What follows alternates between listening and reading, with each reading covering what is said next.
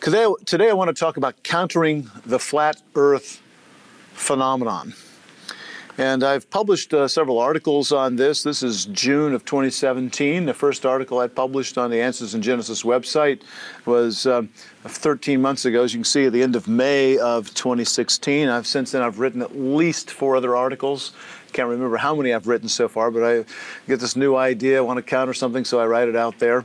And uh, I've actually probably uh, amassed, I've been studying this for a year and a half. I probably uh, amassed more than enough material for a very thick book. I'm probably not going to write it for a number of reasons, but uh, there's a lot of material here I can go over. So today is just going to be skimming uh, some of the things. And you, your first reaction would be, Danny, certainly, oh, you are kidding. okay. well, I wish that I were, but over the last uh, couple of years, this has become quite a phenom. Uh, any of you, have you heard of this, been familiar with it? A few of you? Okay, some of you have, have heard bits and pieces about it. I uh, actually, probably at least two years ago, I had um, uh, somebody, a couple of different occasions, probably six months apart, someone sent me a little little video about flat Earth. I thought, oh, okay, that's interesting what they're trying to do there. But I didn't put it together. I just thought it was one person doing it, and I didn't realize it was a growing phenomenon, really snowballing. But then a year and a half ago, in February of 2016, uh, I had a uh, a couple of adults, a family, a couple of the parents, they talked to me about uh, somebody they knew and one of their sons who was kind of getting in. It's not that he believed it, but seemed to be kind of obsessed with trying to convince everybody else or talk about, kind of debating just for the sake of debating. And he and he loved it because he could he could befuddle people and get them squirming pretty fast. And that was interesting. But then um, within the same week, I encountered two other uh, adults that were concerned about young people they knew who seemed to be into this. So, you know, in five, six days, I have three conversations, independent conversations of people concerned about others who are into it. Well, there must be something going on here. And I began investigating, and boy, was I surprised. It wasn't long after I began asking our people at Answers in Genesis, are you getting questions about this? And I, yeah, I have gotten a couple of questions. Some of our regular speakers told us. And soon after that started rising, Ken Ham came to me finally and said, I'm starting to get this question too. I contacted other creation ministries, Creation Ministries International, answers uh, the um, uh, Institute for Creation Research, and uh, they started getting inquiries about it. And then uh, I serve on the board of the Creation Research Society. Y'all members? Okay, if you're not, you ought to be. And uh, talk to me about it. Anyway, uh, we've actually gotten some inquiries now uh, to the Creation Research Society. So all the creation ministries around the world are getting. It's a rising uh, phenomenon. So it's worthy of looking into. And and you may say, well, this is this is supposed to be is a Genesis history uh, conference. And you may wonder, isn't this getting a little afoot from that? And it is. However, when, when people challenge Genesis not being history, they're challenging Scripture, they're challenging creation, they're challenging the foundations, I think, of Christianity. And I think when people start questioning the flat earth, there's a certain agenda going on here as well. I'll talk about that towards the end of my presentation. But I think I can relate it there as the fact that it too is an assault upon uh, the Christian faith. And um, I, I want to single out a couple people worthy of discussion. I could talk about many people, but I'm trying to figure out, well, who started this stuff and, and why were they doing it? And the first name that comes to, to my mind is a man named Eric Dubay. Uh, he lives in Southeast Asia. He's a yoga instructor part time, and I don't know what else he does, but he does blog and write about flat Earth. He's written two books, both of which I've read. One is 200 Proofs That the Earth is Not a Spinning Ball. It's based upon a book written by a man named Carpenter more than 100 years ago, 100 Proofs on Why the Earth is Not a Spinning Ball. And so I think he's just trying to improve upon that, make it twice as good by having 200 rather than 100. So, and the other's book is uh, called The Flat Earth Conspiracy. The first one I mentioned there is kind of short, and this one's a little about a lot more material there actually. It's called The Flat Earth Conspiracy, and I, you think about that is he tongue in cheek telegraphing something to us? I mean, if he really believes that the world is flat and, and we've been, people have conspired to convince us it's spherical, shouldn't it be the spherical earth conspiracy? I don't know. I'm just I'm just wondering if he's giving a subtle hint that hey, I'm just playing with you here. Anyway, he's kind of the primary guy I think who in recent years has unleashed this upon the world or re-released this on the world because the idea I'll talk about the history of that in just a moment here. The other person I want to pull out is Rob Skiba. Unlike uh, Dubay, he claims to be a Christian. He's out there writing quite a bit, speaking quite a bit. He's got some websites and so forth. He's written uh, some books. Uh, one's Genesis and the Synchronized Biblically Endorsed Extra Biblical Texts. Another one is Babylon Rising, and the first shall be last. Uh, the final Babylon, America and the coming Antichrist. And another one here is Archon Invasion, the Rise, Fall, and Return of the Nephilim. Now, if you really look at those titles and digest them and kind of understand a little bit what's going on there, I think you'll understand that these are rather sensationalized topics. So sensational, fantastic, or sometimes I'll say fantastical. I'll to emphasize that's kind of a word some people have made up. And um, I think I think Rob Skiba is just attracted to fantastic things. He just thinks these are marvelous things. And interestingly enough, um, Skiba will, will say in some of his presentations, he says, I haven't made my mind up on this. He has a, he has a, he has a website called Testing the Globe, and he, in, he insists that I'm just investigating this. I don't know. I'm kind of agnostic about the whole thing. And I've heard him re repeat that mantra that I'm really not convinced of this, but I'm just looking into it. But absent those couple of mentions here and there, it's kind of hard to tell that he's just checking it out because he seems to be giving a lot of arguments for a spherical Earth I mean, for a flat Earth, and none for uh, for a spherical Earth. He doesn't refute any of the arguments for the flat Earth, and so I, I just find it disingenuous. If you're going to keep keep saying you're insisting you're, you're neutral and you clearly are not, I don't get that. Um, I want to give you a quote here. This comes early on in the book, The Flat Earth Conspiracy by Eric Dubay.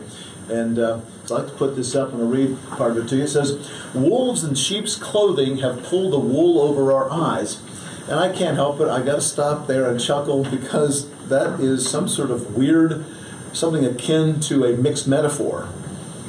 Wolves in sheep's clothing comes from Scripture, and in pulling the wool over our eyes, it's a mixed metaphor. It's kind of weird and odd, isn't it? So. First time I read that, I started laughing. I thought, that's pretty funny. Now, I don't know if Dubay actually meant to be clever with that or if he just, just stumbled into it. But anyway, it, it is funny. But anyway, wolves in sheep's clothing have pulled the wool over our eyes. For almost 500 years, the masses have been thoroughly deceived by a cosmic fairy tale of astronomical proportions.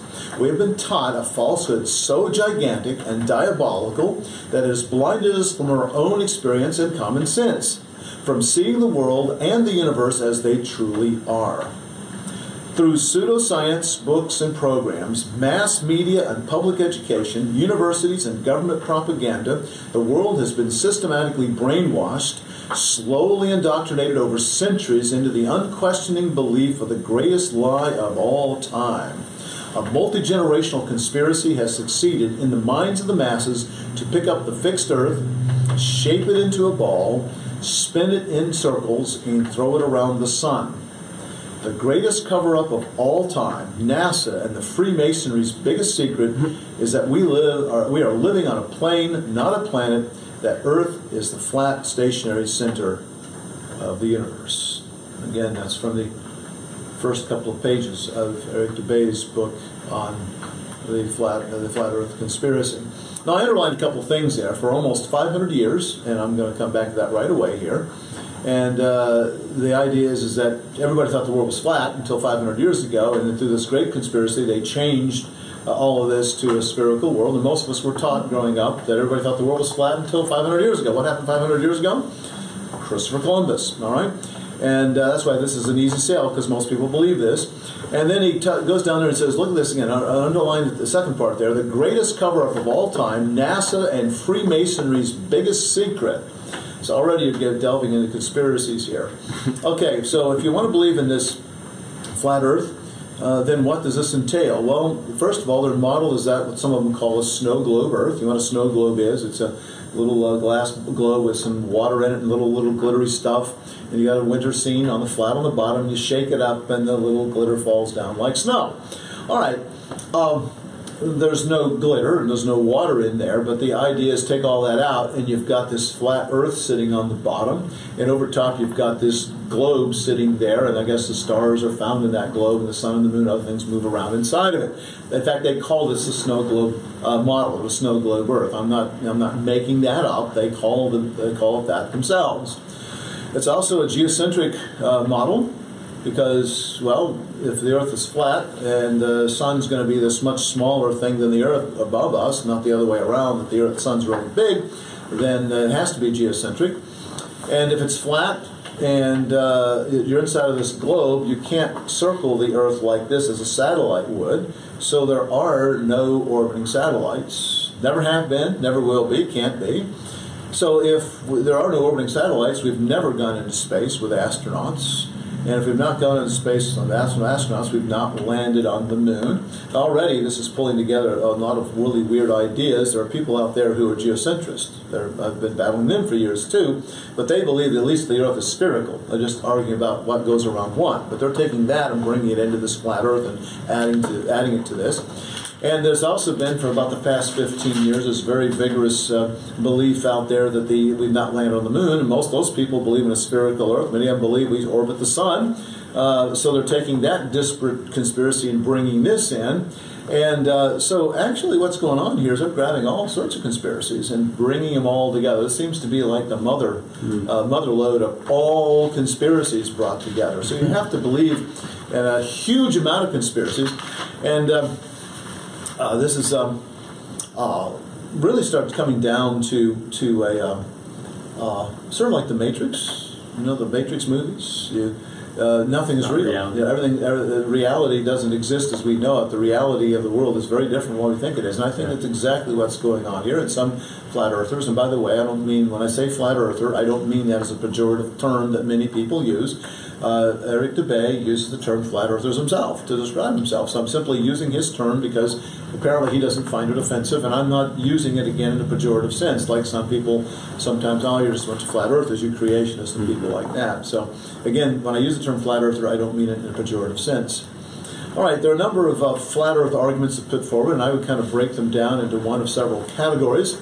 Uh, one, one category would be simply uh, false information they present information that simply is not true. And I will try to give you at least one example of that today. Uh, sometimes they give you information that may be uh, true, but it's incomplete. Uh, you, there's more to tell in all of this. So if you if you if you have just incomplete information, uh, that again not exactly false information, but it's it's leads in the wrong direction because you don't have everything you need to know.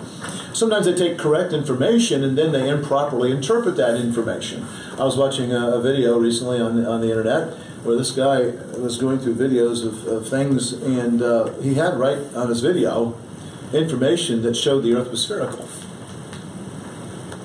Correct information, but then he interpreted that, led the, he was a narrator, he was leading the person, anybody watching it, down the path to think that this really proved a flat earth. And I'm scratching my head on that, I'm trying to figure out, no, you've got the proof right there. you're, you're telling, you're saying it means something uh, different, uh, different what it actually is. Sometimes they have assertions.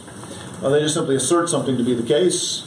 I'll give an example of that a little later on. Now, uh, assertions may not be the same as a false information. They assert something. I don't know for fact that, that this is not true, but they've not actually given any, any, any proof or evidence that it's true. They're just simply stating something is true without backing it up. So it could be false information, might even be true information, but it is an assertion, and that is not a proper way to make your argument.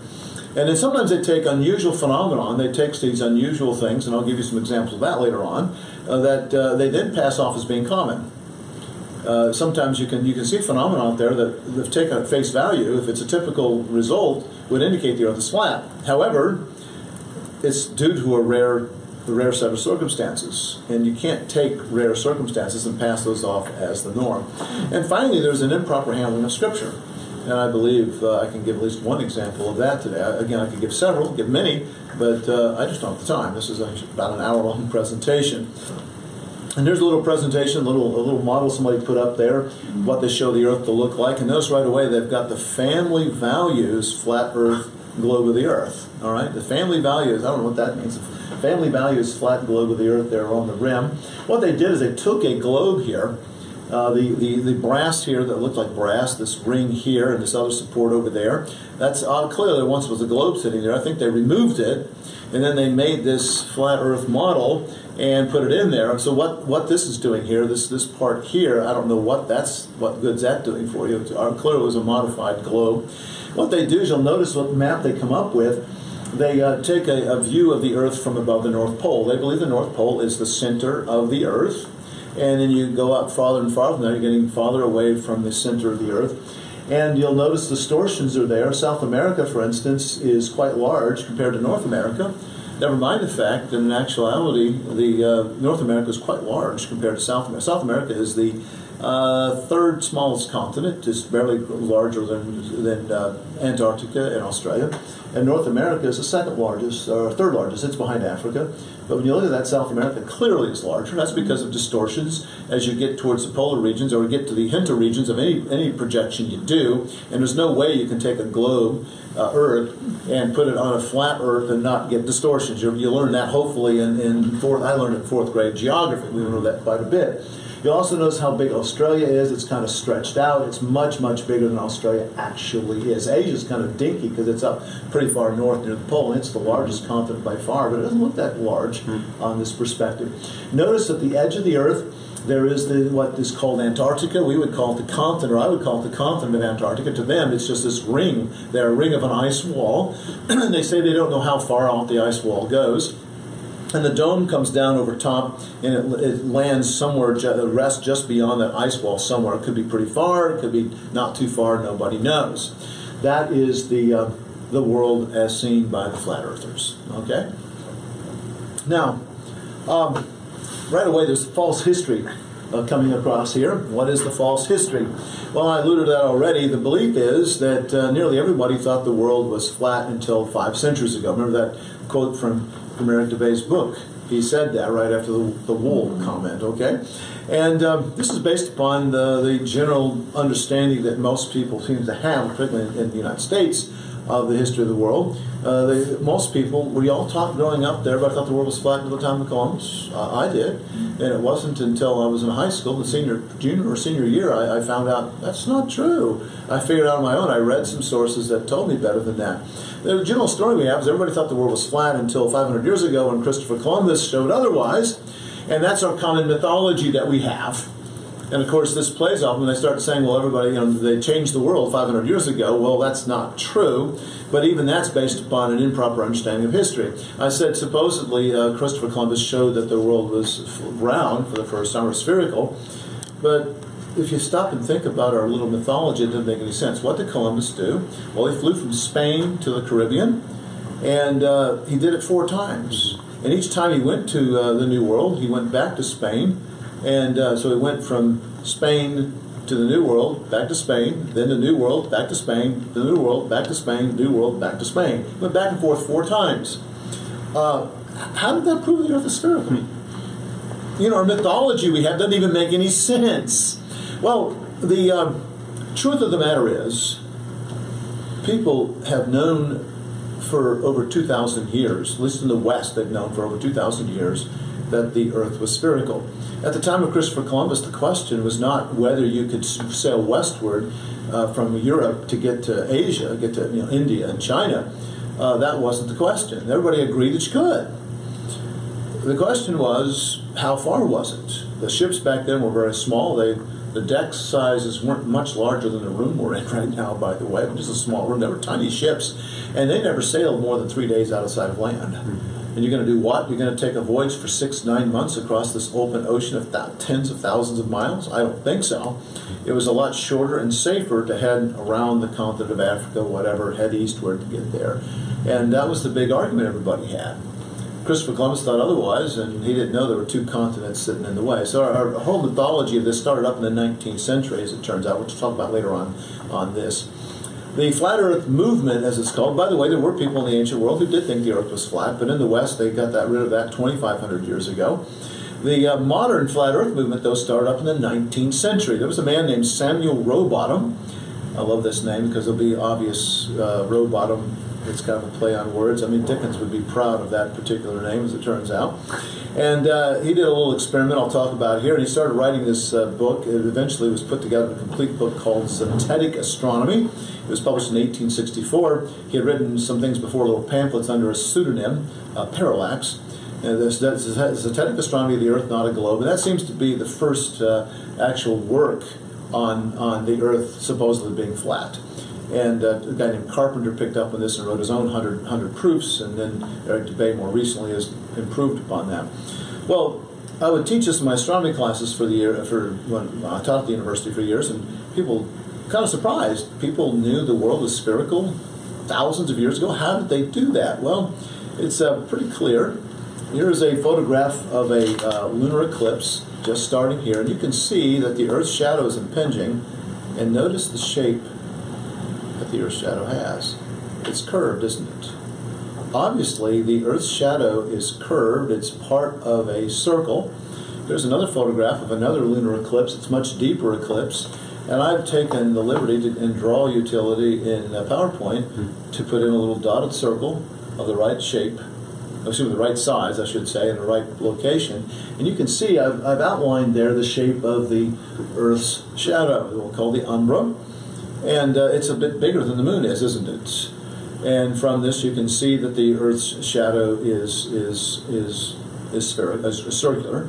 Now, is it possible that if the Earth were round and flat, that you could have a uh, shadow that's circular? Well, yeah. If the sunlight's coming straight down like this, you will cast a circular shadow. But what happens if the sun's rising? The sun's over here, and it hits the Earth. You're going to end up with kind of a line or an ellipse. It's not going to be circular, is it? And to see, if you have an eclipse occurring at midnight, the light sun's down here, the light shines up, you're going to get a circular shadow. But if you have an eclipse, say at sunrise or sunset, it's not going to be circular. Well, the ancient Greeks realized that uh, that looking eclipse after eclipse after eclipse, and I've seen at least a dozen total lunar eclipses and a number of partials on top of that, and I can confirm it. No matter what time of night it is, early, middle, late, the Earth's shadow is always a circle. And the only shape that consistently casts a circular shadow is a sphere. That's a rigorous argument, actually. And it goes back, the first mention we know of goes back to Pythagoras in the 6th century BC. Hmm. And very quickly, Greeks adopted this. Greek cosmology before that we think was basically flat, but after that it wasn't. Aristotle came by a couple of centuries after that, and he taught in his writings that the Earth was spherical. And Aristotle, by the way, was a was a reference used uh, for the next two thousand years in the West. Eratosthenes lived in the second century BC. He lived in Alexandria, in northern Egypt, and he actually uh, did an experiment where he measured the circumference of the Earth pretty accurately. A lot of people are shocked to learn that. Eratosthenes was, by the way, the father of uh, geometry. Uh, excuse me, not geometry, geography. He coined that term because he was a, really into shape, getting maps and so forth. And he worked at the great uh, uh, library in Alexandria. Uh, Ptolemy comes by in the second century AD, and he uh, recorded basically everything we know about ancient astronomy. And he also had in there the Ptolemaic model, and he used, you could use it to predict planetary positions and such. And it was all done with a with a spherical Earth model.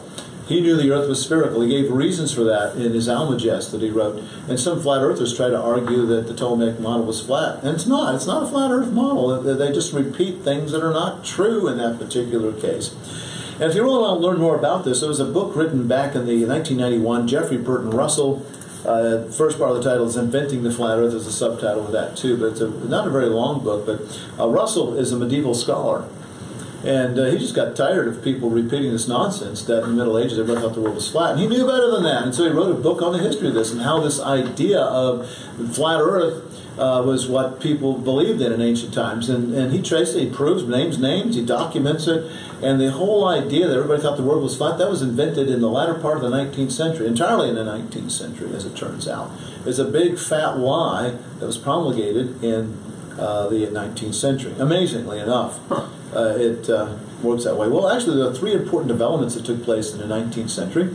Uh, first of all, there was modern archaeology as we know it came about, and one of the places they went was Mesopotamia and uh, started digging up stuff there. People before that hadn't really had a systematized study of this, and when they uh, when they when they began to do that, they soon learned that they uncovered this particular description of a domed flat Earth cosmology.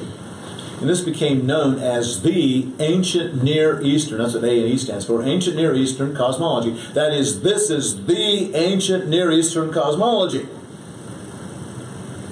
And that idea, well, it, it's held, held sway for more than a century. In fact, even today, many people, most people seem to think that. The problem is, there is no ancient Near Eastern cosmology. There are many ancient Near Eastern cosmologies, many different versions. And what happened is the first researchers on this dug one up, thought that that was it, and they just that became a set in stone. It was much later that people learned, wait a minute, this is just one. There were many, many, many, many others, but it's stuck in our minds so much. And in recent years, people have attempted to correct the record, but it's very difficult.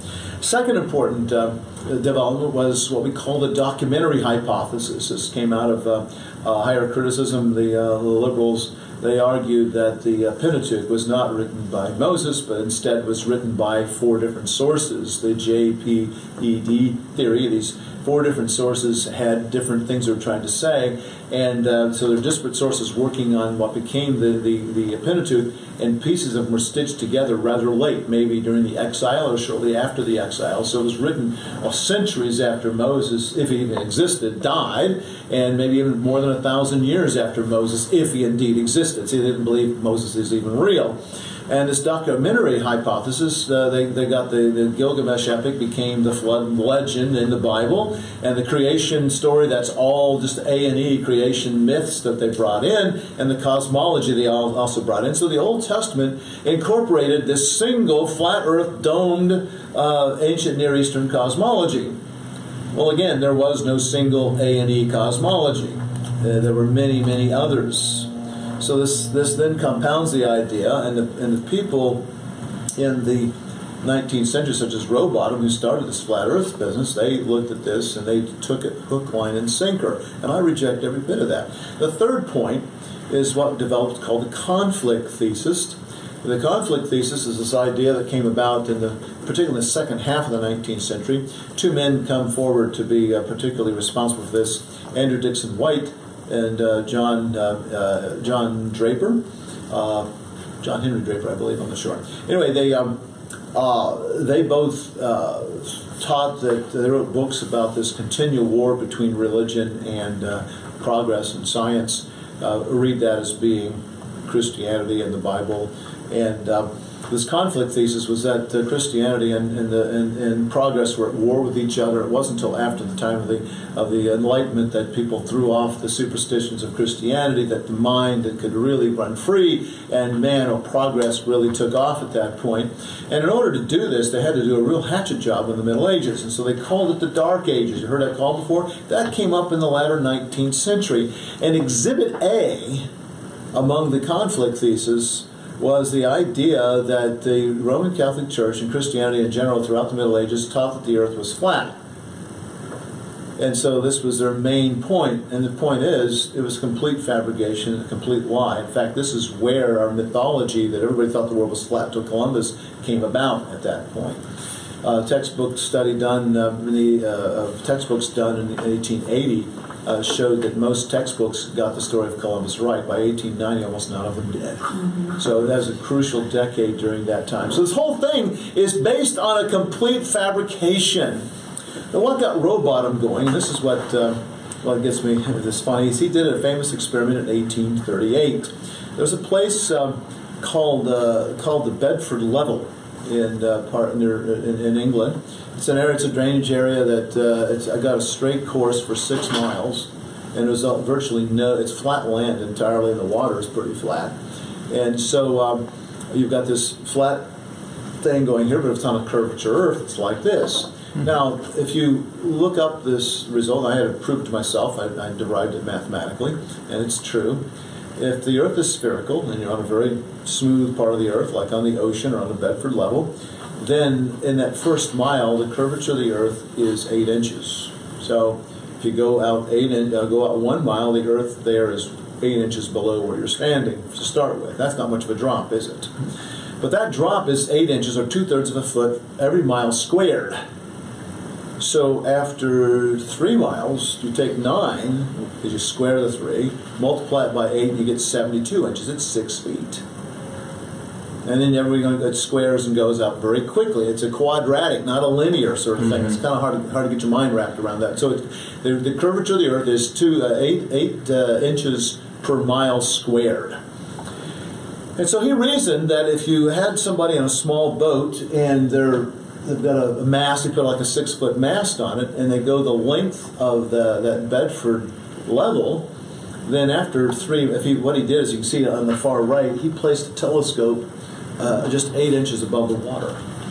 And he reasoned if he's eight inches above the water, he can't see any farther than one mile.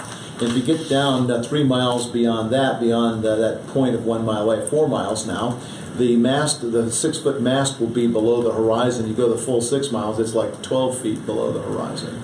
So he reasoned if the Earth is spherical, you can't see the mast once it goes out. And that's the reason I think the name is funny. His name was Rowbotham. And you got a guy rowing a boat in a bottom. So, I mean, I said, if you read Dickens, you have all these fantastic names he makes up. This is perfect. You can't make this up. That really was his name, Rowbotham. So, the problem is he did not account for atmospheric refraction. I'm going to describe that for you just a minute. What that is, well understood uh, thing of physics. In fact, uh, there was much dispute about this. This started getting attention, started writing about it, and getting a following, and, and so there was uh, another man put up a, a challenge. He said, "Okay, anybody can come and prove that this is not a flat body of water. It's, it's actually curved. I'll give you this huge prize." Well, you've heard this fellow's name, Alfred Lord Wallace. Uh, he came and he took up the challenge. Hmm. What he realized is if you did it at water level, you'd have atmospheric refraction. He rose up a number of feet and got out of that layer of air, and he showed actually the, the, the mast disappeared as you went over. Had to go to court to try to collect his money on that. Long story there. Well, here's another one for you. This is one they liked. If you go on a, websites out there uh, shilling for the flat Earth, you'll see this quite a bit. This is a photograph. A photographer, by the way, the photographer who took this is not a flat earther. Uh, he's mortified probably that people are doing this, but he, as a photographer, went over to the uh, western shore of the state of Michigan, on the east side of Lake Michigan, and under the right atmospheric conditions, a very clear sky, he took photographs of the uh, Chicago skyline. Skyline. You see the Willis Tower there, the John Hancock Building, a Standard Oil Building, all that sort of stuff showing up, and. Um, the problem is, if you're taking it from 60 miles away, all of those buildings should be thousands of feet below the curvature of the Earth. So this proves the Earth is flat. And most people seeing this are thinking, "Whoa! What do you know? The Earth really is flat." That really gets people excited, doesn't it?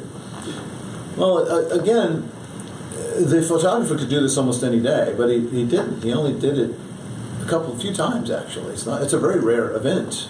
It's one of those examples that you know, a rare phenomenon being interpreted as everyday sort of thing. And uh, they say, well, they try to claim this is a mirage, and they say, but mirages are upside down. Well, one type of mirage will be upside down, but another type will not be, and this is the type we're talking about here. In fact, I'm not sure what that picture is of right there because it doesn't look right at all to me. There's uh, the mirage is well, the inverted mirage should be an inferior mirage, and it ought to be lying below the yeah. ship, not above it, which makes no sense. I'm not saying this thing was faked, but there may have been some really unusual event that made that inset right there. So these people don't know what they're talking about, to be very blunt when they try to interpret this. Okay, what is this business about uh, atmospheric uh, refraction? Well, normally air temperature decreases with altitude. You'll, you'll find that the air is warmest right at ground level, and as you ascend upward in altitude, the uh, the temperature decreases. That's the normal things the way things work. However, this is not the case during a temperature inversion. What I mean by that is you have a layer of air close to the ground which is is uh, cooler and then a short distance above that, there's a layer that's warmer, and then above that, it starts dropping in temperature again. So up here, you may have some temp- air that's the same temperature you have down at the ground layer. So you've got a real thin layer, usually with a strong interface there. It's uh, cool, as you rise up a few feet, bam, you hit this warmer air, and then it starts to decrease after that.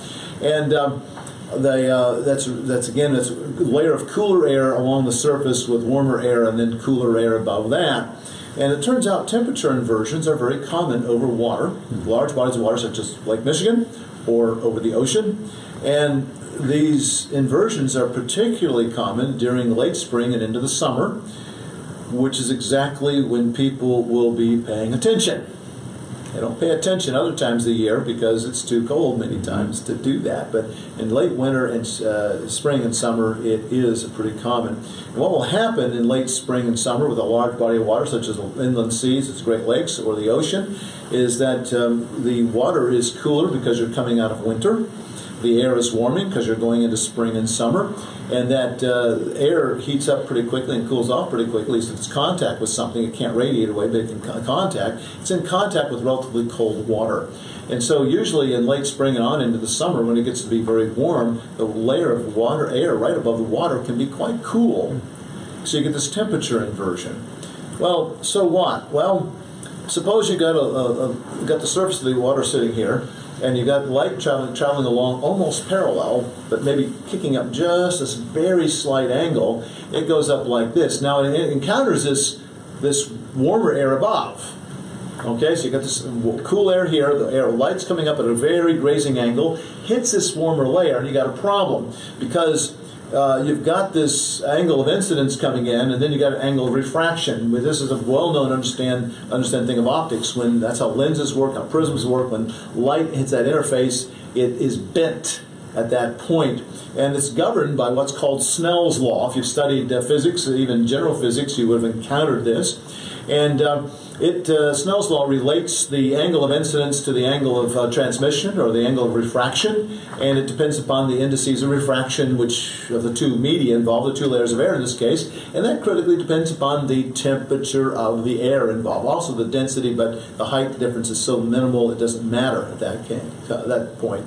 If you have a temperature inversion, and only if you have a temperature inversion, for very low angles of incidence, there will be no real value for the angle of refraction.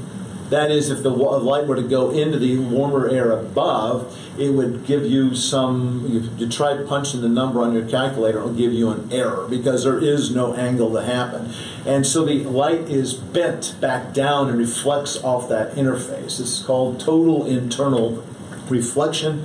If you have uh, uh, binoculars that have uh, prisms inside, you're using two couple of pairs of prisms to actually roll the image over and they have total internal reflection. Again, a well understood phenomenon. In this case, it's continually happening rather than happening just once. So you get this bending of the light around and around and around and around and around. Now, if the light is coming up fast enough, not grazing out much steeper than that, it actually can transmit out. Only when it's coming at a very grazing angle. We're talking about an angle far less than one degree. So that light is trapped in that in that uh, cooler air below. And again, it's a very common phenomenon, as it turns out, that, that temperature inversion. And that light bends along the curvature of the Earth and it can continue for miles and miles. Eventually, it gets scattered out or it gets absorbed out by fog or whatever things in the air. It's got to be very clear for this to go on and on and on. And we call this a superior image because the, the skyline of Chicago is below the horizon, but you're seeing it up here. So whenever you see it above where it actually is, you're looking at what they call superior mirage at this point. And superior mirages, because they're above like this, actually are not inverted. They're right side up. So you can see that Chicago skyline, but only under very steady conditions with a large temperature inversion. Doesn't happen every day. Mm-hmm. Now, we can test this. Uh, if the flat earthers are correct on this, then this ought to be a common occurrence on a clear day. They're saying, okay, the Earth is flat, and that's the reason why you can see Chicago, uh, but you can't see if the Earth is curved. Ergo, the Earth is not curved, the Earth is flat. Done. They've proven the Earth flat Earth. And then many people watching that, they think, well, that makes a lot of sense. Except I'm more skeptical. I know stuff. I'm, I, am a physicist, and I, and I understand refraction quite a bit, and that's that's not an issue. Furthermore, um, if if they're right, if the Earth is flat, then you ought to be able to see around the curvature of the Earth every clear day. I mean, so not assuming you obviously see distant objects. So the Chicago skyline on a very clear day ought to be visible from the from the uh, eastern shore of Lake Michigan over over the state of Michigan every day that it's really clear. But the point is, it normally isn't because the Earth is spherical. You need that very unusual conditions to produce it. So it's taking a very strange uh, phenomenon and, and, passing it off as normal. Well, I've tested this myself a couple of times. Back a number of years ago, uh, I uh, went to Green Bay. Uh, there, uh, Green Bay is not just a city, it's actually a bay. It's a little appendage of Lake Michigan with the Door County Peninsula in between. We were vacationing there. And I, um, I'll tell you in a moment what, what I did there. The other one is a view from Lake Michigan uh, from the shoreline of Concordia University uh, in, in uh, Mequon, Wisconsin, just north of uh, of Milwaukee. And this was just a couple of weeks ago that I did this. Let me show you a Landsat image of Lake Michigan. Oh, I forgot there are no satellites, so this couldn't be taken from space. It must be faked. well, anyway, I don't think they'd argue about this. You can see Lake Michigan. Down here is Chicago, right there, all this pink down there, and the picture they've taken from over here on this side, about 60 miles away. Uh, let's see, Milwaukee appears to be about right there, I believe. And so Mequon's up on the north side. And so across the lake here to Michigan is like 100 miles, maybe 110 miles max, but it's 100 miles over there. Up here is the uh, this green city of Green Bay is right here, and this is Green Bay right there, and this is the Door County Peninsula right there, the vacation spot. Up here, over here, this is this is the Upper Peninsula of Michigan. Wisconsin ends about right here, I think. So this is Upper Michigan. So we were over here uh, on this, and I took my son out here one morning out to a uh, to the beach there. It's a rocky beach, and we stood on the water. We looked across. I think that people told me it's 18 miles, maybe 20, maybe more than 20 miles. Very clear day. Looked across to Michigan, but being over 20 miles away, the curvature of the earth carried it down, and I couldn't see anything. It was just open water as far as I could see. By the way, if, you're, if you stand normal height near the water's edge, you see out to about six miles, six, uh, three miles. That's the drops down six feet. You're looking at six feet up. That's as far as you can see. Well, got in the car. We drove around on the highway, and we went up, and there's some bluffs above the beach. I don't know how high they were, but noticeably higher than the beach was. And got up there, and we went to an overlook. My son and I looked off to the west, and guess what we saw? We saw the tree line in Upper Michigan. You can see the trees over there. It's plain as day. Because when you got up high enough, you could see over the curvature of the earth. Now, see, if the earth were flat from that bluff, I could see the, the shoreline of Upper Peninsula of Michigan, the UP. But if the earth were flat, I could also see it from the beach. Mm-hmm. And I didn't see it from the beach. And that can only be if the earth is spherical. That's a very common phenomenon. People see that often enough. Now, let me get back to Mequon, just down here north of Milwaukee, looking across Lake Michigan there. Here's a photograph I took recently. As you can see, it's a pretty clear day. Mm-hmm. You can see out quite a range. And I'm on a bluff here, it's about 100 feet. And I can see out about 12 miles with that on a spherical earth. I went down to the beach and I set that. You all remember the Questar telescope I got out the other night, and uh, we we set it up down on the beach down there where that sidewalk is, and we looked out, and I scanned for almost the entire horizon from far as I could from one side to the other, and looked with the telescope at 50 and then 80 magnification, and I couldn't see anything. We brought it back up on top of the bluff here, and I looked out, and I couldn't see anything. All I could see was water and sky. That's all I could see.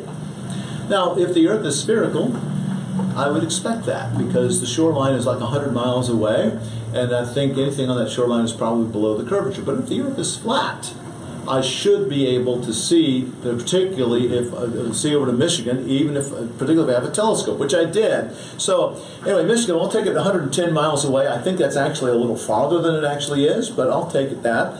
And let's assume there's a tree canopy that's 45 feet tall. That's not really tall for a tree canopy. Well, lots of forest over there. The canopy is probably much higher than that. But let's just lowball. I'm lowballing the height of the trees. I'm uh, I'm highballing the distance. I want to be just as generous as I can on this. so I ran the numbers, and the angle that the tops of the trees should make would be 16 arc seconds.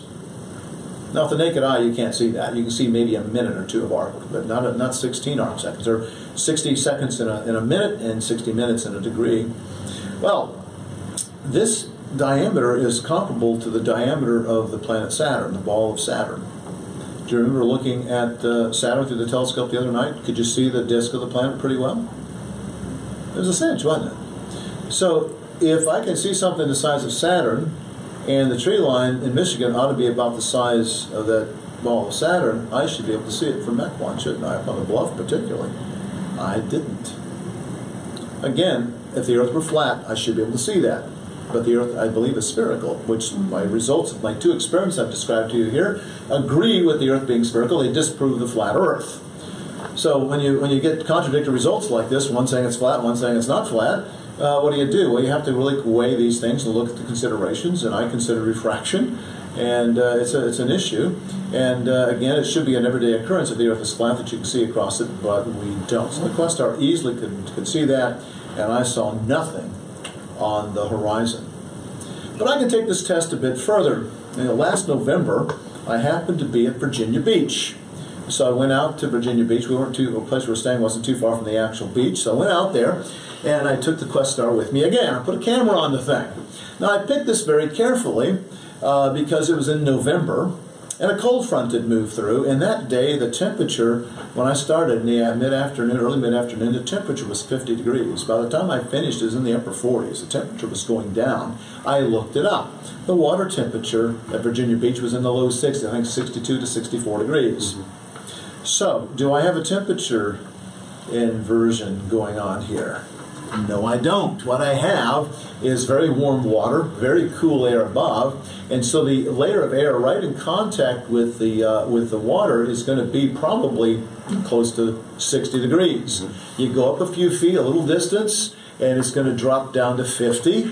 And then as you go higher, it's going to drop once again. So what I have is I have a uh, drop drop some more. I should say I have highest temperature on the bottom, Going upward, I find the temperature drops pretty quickly at first and more gradually after that. There is no temperature inversion. There can't be a temperature inversion. Again, I did this in autumn as the water is cooling down. Most people aren't going out there on a cool day in autumn because it's just not real comfortable to do that. But in late spring and summer when it's warm, you're going to do that and you're going to have a temperature inversion almost every day, guaranteed. So there's no temperature inversion, and I'm going to show you a series of photographs that I took. Here's one I took of a, of a ship that says NKY line on this. The Questar, by the way, has a, four, a 1200 millimeter focal length. It's a whale with a telephoto lens. So this is just straight to the camera. And what you can see there is you can see, I think, seven, seven uh, stacks, uh, layers of containers. One, two, three, four, five, six, seven. I don't know what this gray layer right there is. It's hard to say what that is. It looks like containers, but why do they have all one color there? It's something on the side of the ship, I think. But I can see seven, a stack of seven containers that go down deeper than that, by the way. And then I see that level of gray, and then I see NKY line. It's on the mm-hmm. hull of the ship, and notice the NKY line. It's below the, where the water is. Uh-huh. Now they don't paint the name of their ship below the water line. So already I'm seeing part of the hole disappear. That's one of the proofs given for the flat Earth, for the spherical Earth, is that as the Earth is curved, curved as the ship travels away, the whole, of the ship ought to disappear. It's exactly what I'm seeing here. But let's go on. Let's go to the next photograph. Now this one, I got a little later today.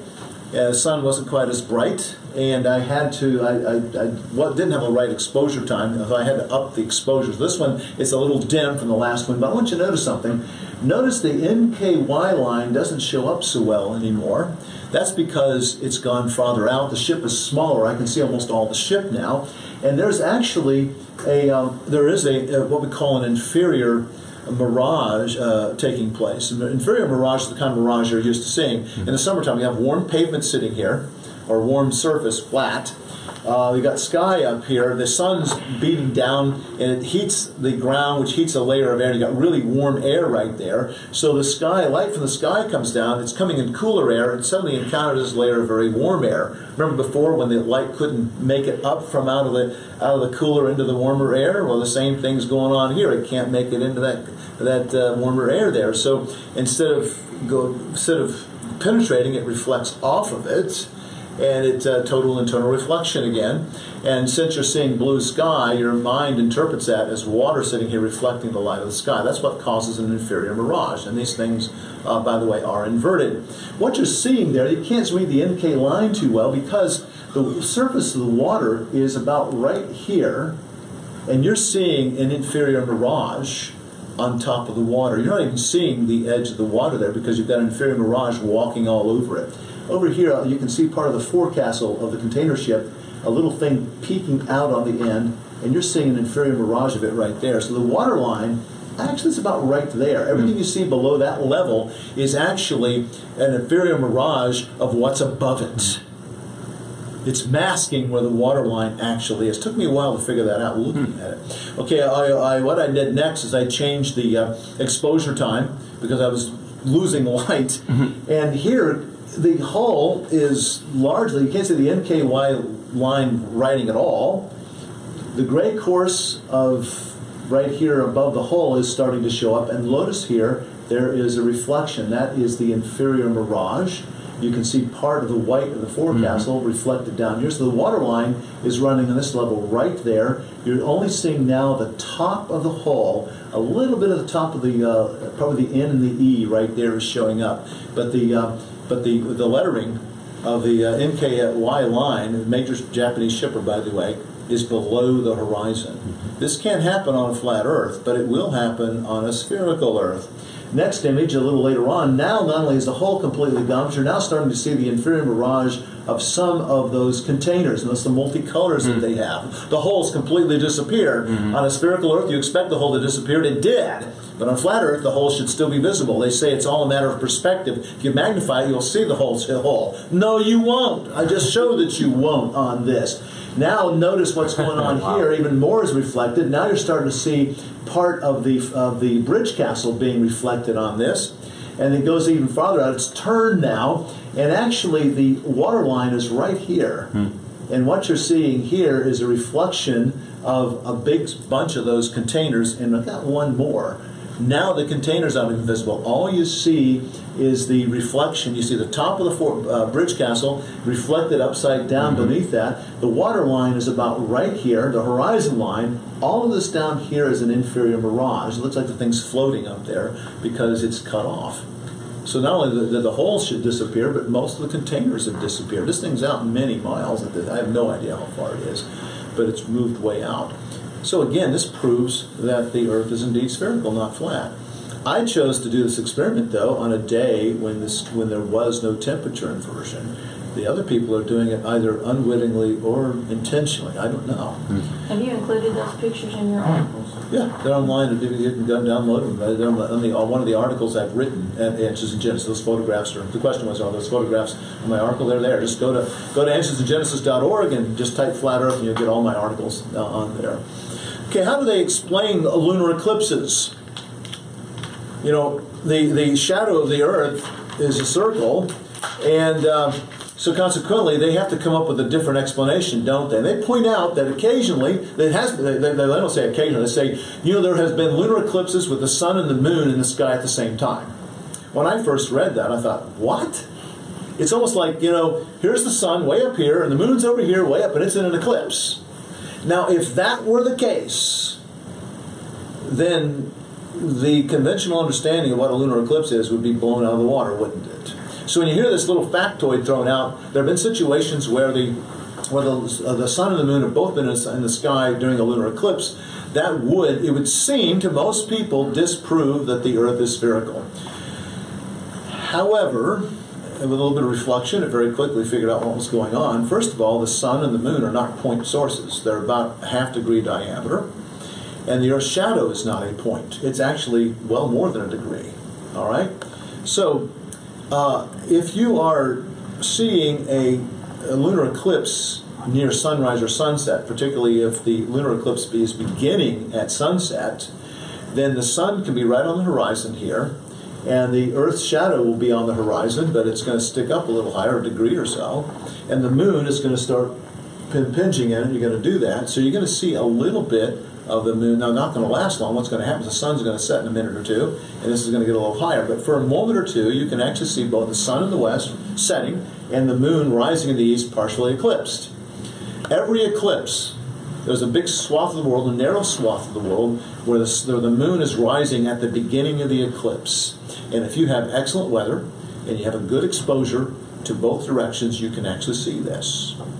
That's hard to pull off. My weather never cooperates that well, so I've experienced this, but I know it can happen. Conversely, if it happens uh, at sunrise, the eclipse is ending.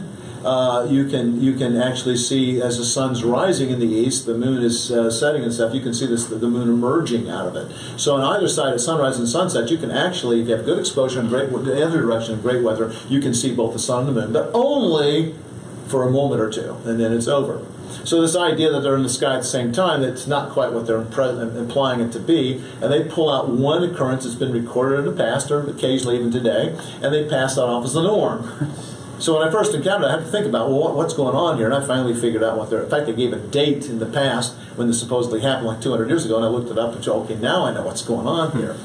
But you know, in all this this razzmatazz and obscuration, they've offered no alternate explanation they're, they're pretty confident what doesn't cause a, a, lunar eclipse, but they have no interest or curiosity as to why what actually does cause it. And to me, that's very interesting. Okay, you, you, Mr. Smarty Pants, you told me what an eclipse is not. Tell me what it is. Well, I don't care. I don't know. You know, I don't know. I don't care. It doesn't matter to me. I just know what it's not. And to me, that's fundamentally dishonest. It lacks a uh, mentally, intellectually dishonest, and it, and it shows a fundamental lack of, of, of, of curiosity about the world. Well, how do flat earthers explain solar eclipses? Well, real simply, they don't. They simply assert that the conventional understanding is wrong. This is one of the assertions I told you about. In this case, it's a false assertion. And they also further argue that the moon is not really a, a sphere at all, but it's a disk, and it's a transparent disk. And they argue, they claim to prove this, that you can see stars shining through the moon. And they give some argument. Somebody 200 years ago claimed they saw a star shining through the moon. I saw another guy uh, on, on, the internet out there. He had a picture of the moon, and uh, he was doing some sort of video camera, movie camera, I think it was, looked like it. And you could see these stars inside the moon. Well, it didn't take me long to figure out what was going on. The guy had the gain cranked way up, and what he was seeing was noise, hot pixels in the camera. you know, you couldn't tell hot pixels. And the thing is, it would move with the moon. It would move with the camera, by the way. if, it, if it was really stars, what would happen is the moon slowly moved. They would stay still, but they don't. So he didn't understand what he was using with his equipment. So there are all sorts of weird claims like this that are pretty easy to debunk if you happen to know a few things. But if you don't know much what's going on, you look at it and you're, oh, you're blown away and you have no idea how to explain that. Well, back, uh, uh, back in, I think, uh, early December, there was an occultation of the star uh, Aldebaran. Uh, I don't. I didn't have my telescope with me on the trip I was on, so I had to set up the camera and put the zoom on my lens and put it on a tripod. And you can see the moon there, and then to the upper left, there's a star up there. It's kind of blurry because uh, a little shutter in there, but that's the, the star uh, Aldebaran. It's one of the brightest, brighter stars in the sky, and one of the brightest stars that the moon occasionally occults. The moon passes in front of the star occasionally. And that night there happened to be around 11 o'clock. There happened to be an occultation. I took this photograph a few minutes before 11. And you see the dark edge of the moon hasn't gotten to it yet. But a little later on, I took another photograph, and it's gone. It's gone. Now, it's one of the brighter stars in the sky. If the moon is just a just a just a transparent disk, then you should be able to see one of the brightest stars in the sky shining through it, wouldn't you? Mm-hmm. But you don't. So clearly, this is wrong. They just simply assert that the moon is a disk, and here's why, and they don't really give you good proof. They just assert that's the case. And I, as a person who's looked looked at many occultations, I know that's patently false. You don't see stars through the moon, nor have you. Could you ever see them through theirs? How do they, how do they explain day and night? You know, on the Earth, it's a matter of the of the Earth rotating, and the and the and the sun is carried below the uh, horizon. And what they claim is that each day the Earth, the Sun spins around the North Pole like this. There's an axis right there at the North Pole on the flat Earth, and the Sun goes around. Well, if you're anywhere on the on the globe, on the flat Earth, I should say, you could draw a line between your location and the location of the Sun. And so obviously the Sun will always be above the horizon. Well, but you don't understand. It's like a spotlight. There's a shield, a cutoff there, and it's just a cone of light coming down. And so when the sun is overhead, uh, over where you are, you're inside of that cone. You can see it's uh, daylight, and over here it's dark. The sun is above the horizon, but uh, you don't see it because you're outside of this cone that's got a shield upon the thing. Now, I find it remarkable that anybody believes this, anybody falls for this, because again, you can uh, see that the sun doesn't actually set. Have you ever watched the sun set or rise? Yeah, it actually does sink below the horizon or seems to rise above the horizon. And so, uh, if this theory is correct, then the sun doesn't actually do either of those. It's always above the horizon. It just gets dimmer in the sky for some reason. Well, they claim it's a matter of uh, doesn't actually the sun doesn't actually rise or set. It's a matter of perspective. You see, when you go back here, if it's uh, if if this thing moves from over here to over there, now it's lighting up another part of the world. Then if you're over here, uh, the sun is so incredibly far away. See how far it is? It's over here, mm-hmm. as opposed to being high overhead. And so, as it, things move away from you, they seem to get lower in the sky. It's a matter of perspective. Well, it gets lower in the sky, yeah, but still, it's above the horizon. It doesn't sink. Uh, can, perspective can't buy you out of that one if you really think about it at all. Furthermore, notice when you're right when you're right here, if you're looking up, the sun is real close to you, and if over here, it's real far away, isn't it? So shouldn't, shouldn't the sun get get smaller over here in the sky? Yeah, it should. In fact, there's several websites out there I've seen the videos. They take a guy's got the sun, they've got the camera looking at the sun, and it's it's time lapse. So the sun is this big glowing thing in the sky, and it gets lower in the sky, and it just kind of shrinks down to a small thing before it sets. what's going on there? Well, he doesn't change the exposure, and you've got it grossly overexposed. It bleeds out into pixels all over the place, and it gets lower in the sky, gets fainter, doesn't do that. So it looks like it sort of shrinks, doesn't it? And again, people may watch that and may not know any better, but I know better than this. Uh, so I decided to uh, I decided to test this. I did it last last year, August third. What I did is I went out at uh, 7:30 a.m. Eastern Daylight Time out by Johnson Observatory at the at the Creation Museum, and I set up the Questar again with my camera, and I took a photograph of the of the sun. And the sun was eight degrees below the horizon. In fact, when I share the photo, you'll see that there there's a little bit of a tree branch in the way because I, I waited until 7.30 because before that the sun was below the trees i couldn't get it any lower from our location and i came back out at 1.45 uh, same day and the sun was 63 degrees up and that's as high as it got that time of day. You see where i live uh, this time of year local noon is about almost quarter till two. Local midnight's almost quarter to two because uh, number one we should be in the central time zone where we keep eastern standard and number two we have uh, we have daylight stupid time going on. Right? So, actually, that's local noon. That particular day, because the equation of time instead of being 139, it was 145. So I took this photograph when the sun was 63 degrees. Now they claim that the, the moon, I took, I took the information from the both the sun and the moon both are 32 miles across and are 3,000 feet up, I mean 3,000 miles up above the Earth's surface. I took that, came out right in Eric Dubay's book. I took that information and I applied trigonometry to it. Remember, I pointed out if it's oh, it's noon, it's going to be high overhead. If it's late in the day, it's going to be way over here. So I, I applied trig to that well well established mathematics, and I indicate I found out that if this is true, then the sun ought to be 6.4 times larger when it's high up in the sky than when it's 63 degrees up than when it's 8 degrees up. Now, if the Earth is round and the sun is 93 million miles away, uh, almost a half million miles, almost a million miles across uh, then there's not going to be noticeable difference, is there? So I've got a test here. If I take these two photographs and show you, then if, if they're the same size, then the Earth must be spherical and the moon so it must be very far away. At least that's consistent with my prediction. Or if the Earth is flat, as I say, then it ought to be 6.4 times larger. Well, here are my images. The top one by the way, there one the top is, is is the first one. The reason why it's so red is I didn't change any of the settings. I had the same ISO, I believe it was 100. I thought it took, and the same exposure time. I have a solar filter on the telescope, but I, I, didn't change the filter. I didn't change the ISO setting, and I didn't change the exposure time. I didn't want anybody to say, "Well, you just changed the exposure." No, I didn't change any. It's the same exposure settings between the two of them.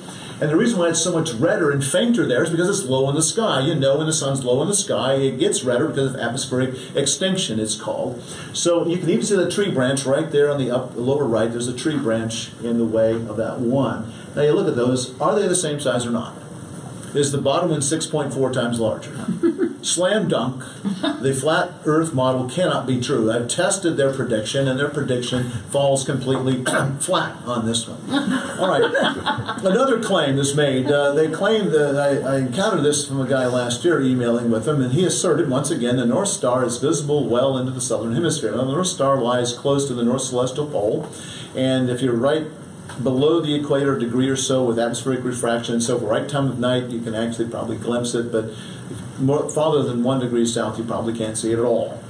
And um, this guy was claiming that the uh, that the the the uh, North Star was visible well south, uh, down like 20, 20 degrees, 25 degrees south of the equator.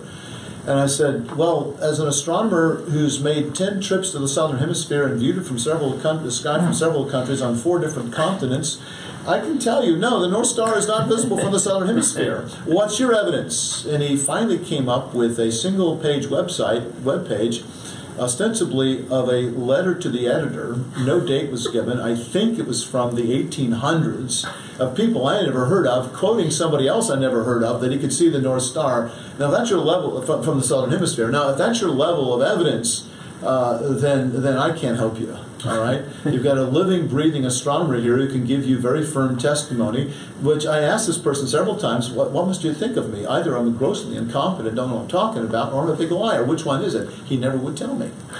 You know, I, that's really the two choices you have in that case. He didn't want to insult me, but you know, you, are insulting my intelligence and my veracity by, by this nonsense going on.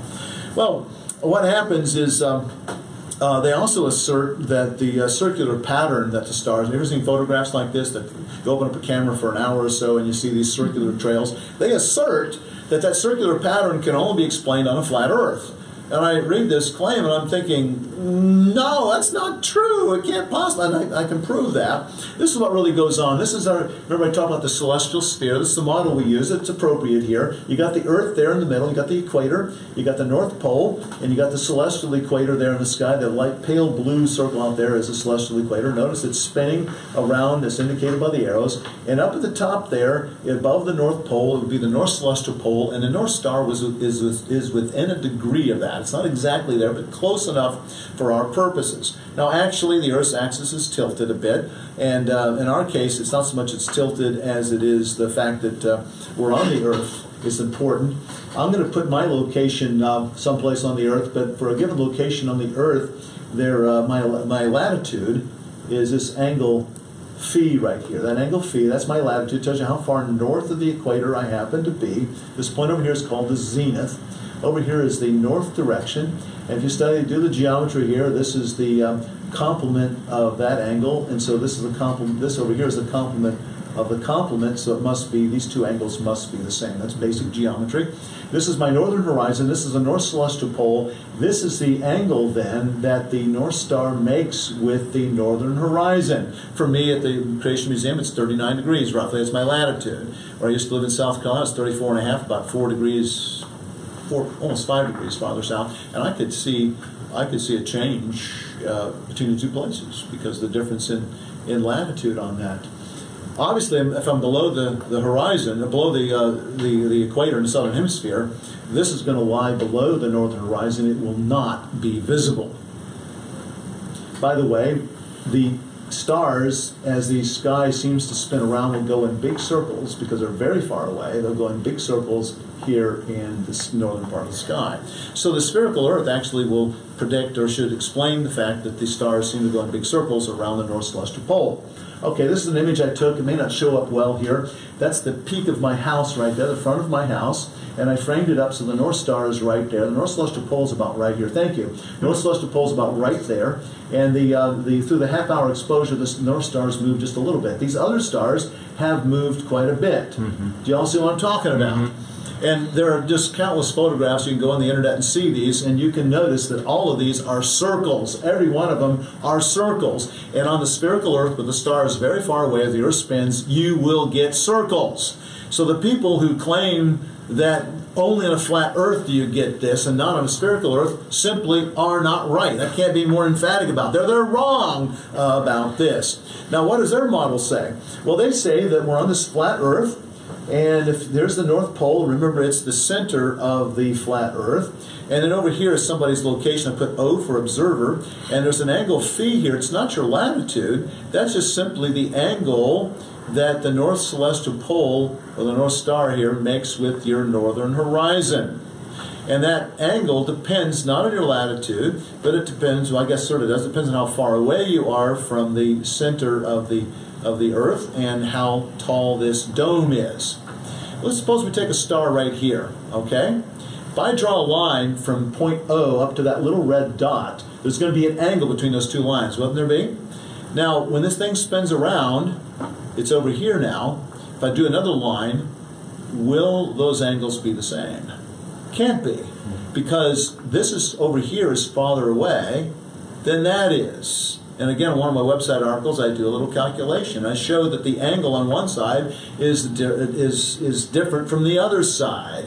Now, this would be a circle on the celestial sphere up here, but we won't observe a circle. We will see a different shape. It will be a closed figure, but it will be uh, a little closer to the uh, North Star on one side and farther away on this, which means it doesn't have an equal radius, which means it's not a circle. It's a loop, but not a circle.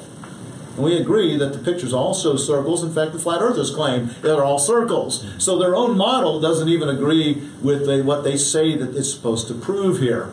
And also the rate at which this thing turns is different because it's going to be closer and farther away. If something's farther away, it seems to move more slowly if it's moving at a constant rate than if it's close to you.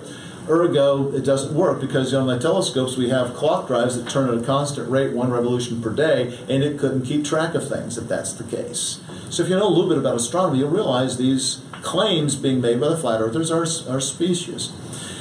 Then we have uh, claims uh, made from Scripture. I'll just give you one. one. One example they like to give is from Daniel chapter 4. It's uh, Nebuchadnezzar's second dream. And um, in this dream, Nebuchadnezzar dreamed that there was this great tree that grew up uh, out of the ground, and it grew to an exceedingly great height. And that tree was visible from all over the earth. The entire world could see this tree. And so the flat earthers say, wait a minute how could a, a, tree be visible from all over the world uh, on, a, on a spherical earth? No matter how tall the tree is, if you're at a spherical earth and the tree is up here, people out here can't see the tree because the earth is in the way.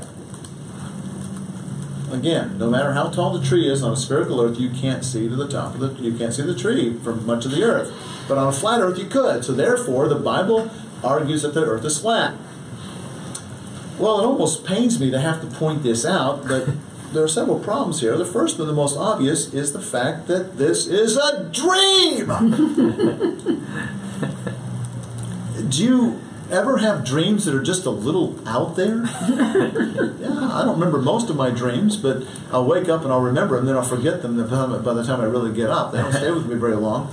But you know, I, I, all sorts of fantastic things. Things will happen. Things will move and change. You know, you're sitting over there uh, by, the, by, the, by, by, your computer in the, in the, in, the, room, and the next thing I know, you turn into my mother, and then you turn into a lion, and an elephant runs out the door and flies out the window. Also, and I just accept this. You know, this crazy stuff that you you all have dreams like that, right? I remember years ago, I was having a dream, and something so bizarre happened this, uh, this is true. Something so bizarre happened in, the, in my dream that I just stopped and I protested. I said, This cannot be happening. This is impossible. I don't believe this. And then suddenly I, I realized, or maybe someone said to me, Hey, you're dreaming. Oh, okay, go ahead. Only time that ever happened to me. But dreams are just, you know, bizarro things. They're not supposed to be real anyway. So why in the world would you take a dream, particularly by what arguably is a pagan king? All right, you say, well, maybe he was born again because the beginning of the dream he gives homage to the true God. Well, there are people who give homage to the true God who aren't born again people. Balaam did, and I don't think he was born again. Furthermore, I think that homage was given after the whole thing that happened in chapter four. It's an introductory encapsulation. He gave he gave praise to God because of what happened to him. Furthermore, it's it's a dream which is not real. And furthermore, the dream has meaning. Daniel interprets the dream and he says, Nebuchadnezzar, you are that tree. Well, which is it? Is it Nebuchadnezzar or is it a tree?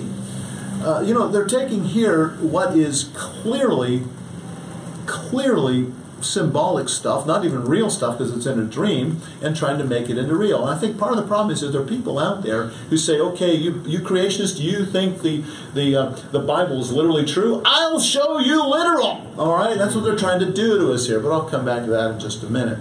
So they misuse scripture. It's just one example. All the others they, they mess up too. Okay, you know when I ask my students about uh, about about the uh, about the uh, the the uh, flat Earth and the, the, how do you know the Earth is is a, is a ball? Most would say, well, you know, we got satellite photos from some space showing the Earth is spherical. Well, yeah, we got those what in 1959 for the first time, 58 right after the space program started. But what did you do before that? We, we didn't have things like that. We have astronauts too that go up there, and some of the astronauts who've gone into space are Christians or later became Christians. You know where the two of the, two of the 12 men who walked on the moon later came to Christ. One was Charlie Duke, the other one was James, James Irwin. I contacted Charlie Duke. I have a contact with him, and I and I asked him for some quotes, and you'll find his quotes on my on my webpage, one of my articles there at the, at the website about this. And uh, we have a, a, couple other astronauts. We had one come recently visit us. There's another out there who's written a great book. These are two current astronauts, and uh, they've taken photographs in space. I can tell you, yeah, it's a, it's a ball, it's a sphere. So. Um, these, these Christians, Christian brothers, can testify that the earth is spherical. In fact, I first encountered uh, people that doubted Apollo moon landings about 10 years ago, and I found what would shut them up pretty quickly. I said, well, you know, two of the men said they claimed walked on the moon, later became Christian brothers. And so when you accuse them of not uh, walking on the moon, the biggest thing that happened in their lives, ostensibly, you're accusing a Christian brother of, uh, of lying about that. And that usually would stop them in their tracks. One guy asked me that before, asked me about it before I gave a presentation. I said, we'll talk afterwards. That's what think about this. He never came up afterwards. He said, I never thought about that. But I found a new breed now. When the flat earthers say this, they're unfazed. Their response is uh, that they're all Freemasons. so hence they're part of the conspiracy. In fact, that gets thrown out a lot. This comes under the assertions. I don't know if all the astronauts are Freemasons. How do I go about proving that they are, or, or they aren't, I should say? It's impossible for me to prove that all the astronauts are not Freemasons. But it would be relatively easy for them to prove that many of them are. And they've never offered it. They simply say, oh, the Freemasons. And that gets repeated, it gets asserted, and so it becomes truth in the minds of people. If you really want to believe that assertion, then go ahead. But I think it's pretty lame. As far as I know, I've not been accused of being a Freemason yet. But because I'm think the flat Earth, I know the flat Earth is wrong, and I think the Earth is spherical. I'm just waiting sometime for someone to accuse me for being a Freemason. By the way, for the record, out here, I am not a Freemason. I have never been a Freemason. I have no desire, never had a desire. I probably couldn't join because I couldn't keep my straight a, fa- uh, a straight face during the whole things. I've read about some of the, uh, the initiation stuff, and I would be snickering and giggling the whole time. I wouldn't like that. All right, so I am not a Freemason, folks. I really, I never, I never have been, never will be. All right. Just want to get it off my chest now in case somebody wants to wants to accuse me. They're going to accuse me of lying now, I'm sure, if they see this uh, this thing. Okay, what is the motivation of the flat earthers? I wish I knew. I, I think, uh, in fact, I know that many of these people that are doing this are undoubtedly well intentioned. They, they tell me they're Christians, and, I, and I, I think they really are. They're sincere, but they've been sincerely misled in all of this. I am thoroughly convinced, however, some of those websites out there, they're doing this entirely as a prank. I, I think Eric Dubay may be pranking people on that. I think the thing, you know, the flat earth myth, uh, the, the, the, title of one of his books, I, I think he's maybe toying with us even there. I think some of these people out there know exactly what they're doing, and they're just seeing if they can pull people in, and they're laughing themselves silly at our expense. And then I think there's a, a, malicious streak as well. I think there are certain people out there who are attempting to make Christians look bad. As I said earlier, you you creationists, you think the Bible's literally true. I'll show you literal. And I think they're trying to discredit us. And that's the reason why I think it's important is Genesis history. Well, you know, is everything in the Bible literally true? And the obvious answer is no. There's simile, there's metaphor. There's symbolic language, particularly in the prophetic passages and in the poetic passages. But Genesis is neither. It's a historical narrative. That's why we know that it is a true account of what happened in the world. And you can't say, well, that it's just symbolic language. And, and this idea that we creationists think that the Bible is literally true, I've never thought the Bible is literally true in every word. It, it can't be because there are passages which clearly are not mean to be taken literally. That's, that's, the, that's the, the rub of it all. And I thank you very much for your attention today.